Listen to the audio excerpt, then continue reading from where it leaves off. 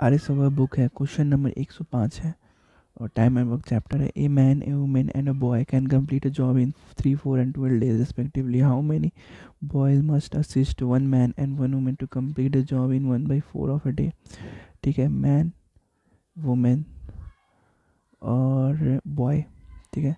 ये तीन, चार और बारह, इन तीनों का एल्सियम क्या हो जाएगा? इन तीनों का एल्सियम हो जाएगा बारह। ये तीन, चार की एफिशिएंसी करता है, ये तीन की एफिशिएंसी और ये एक की एफिशिएंसी से टोटल कितना हो जाएगा? टोटल हो जाएगा सेवन और एट ठीक है? एट हो जाएगा।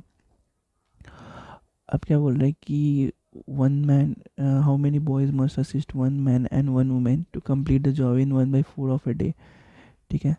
तो अगर वन मैन और वन वुमेन यानी एफिशिएंसी सात हो जाएगी, चार और प्लस तीन सात सात एफिशिएंसी हो जाएगी और टोटल डेज़ कितना? बारह डेज़ काम करते हैं।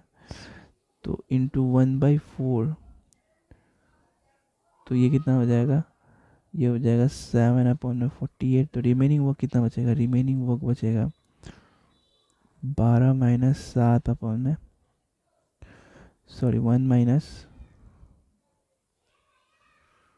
one minus seven upon में फोर्टी एट सेवन अपॉन में फोर्टी एट यानी फोर्टी एट माइनस सेवन यानी फोर्टी वन अपॉन में forty eight forty one upon में फोर्टी एट जो होता है रिमेनिंग वर्क बचता है हमारे पास।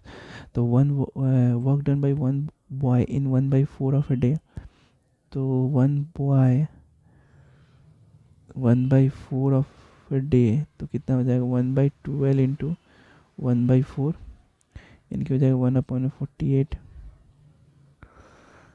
तो नंबर ऑफ़ बॉयज़ रिक्वायर्ड कितना? Number of boys required question कितना हो जाएगा फोर्टी वन अपॉन में forty eight into forty eight यानी कि ये हो जाएगा forty one number of boys required यानी ऑप्शन डी हमारा आंसर होगा।